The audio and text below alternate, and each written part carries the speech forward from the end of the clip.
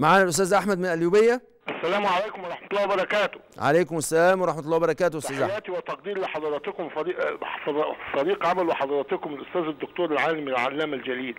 الله يعز حضرتك. اتفضل يا أستاذ أحمد. آه، مع حضراتكم أحمد عروج أرض الجنين الغرب شكرا فيه اتفضل. سؤال حضرتك يا أستاذ أحمد. سؤال بس عايز أعرف حضرتك من حضرتك نلقي الضوء على الم... آه، آه، عقاب المتهرب من الخدمة العسكرية أو من خدمة الوطن من أي موقع؟ طيب حاضر. آه، يعني من منظور شرع الله عز وجل وسنة نبينا الحبيب صلى الله عليه وسلم. طيب حاضر. إحنا عندنا شوية حاجات آه عقوبتها بتتدرج. يعني الهارب من الخدمة العسكرية في الأوقات العادية غير الهارب في الخدمة العسكرية في أوقات الحرب.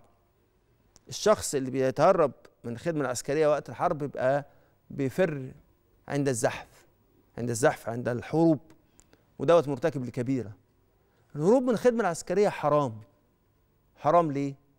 لأن الهروب من الخدمة العسكرية هو الهروب من واجب أوجبه الله سبحانه وتعالى عليك عندما أمرك أن تحمي العرض وأن تحمي المال وأن تحمي الدم. ولذلك النكوث وترك هذه الحماية ده نوع من أنواع ماذا؟ نوع من أنواع المعصية. ولذلك لا يجوز شرعا إن الإنسان يتهرب من الخدمة العسكرية. لأن التهرب من الخدمة العسكرية ده قد يوصل صاحبه أن يقع في الكبيرة. ولذلك لا يجوز لأن حضرة النبي صلى الله عليه وسلم قال من مات دون ماله فهو شهيد ومن مات دون عرضه فهو شهيد. يبقى حضرة النبي علمنا إيه؟ علمنا أن الحفاظ على العرض والمال دوت من الواجبات الشرعية.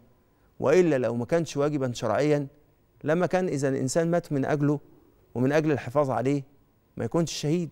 ولذلك لا يجوز شرعا التهرب من الخدمة العسكرية وإحنا في يوم من الأيام يعني قريبا سنخصص حلقة للكلام عن مسألة وجوب الالتزام بمسألة الخدمة العسكرية.